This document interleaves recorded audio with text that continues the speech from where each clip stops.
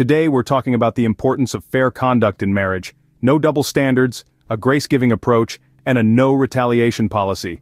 Fair conduct is the cornerstone of a healthy, long-lasting marriage.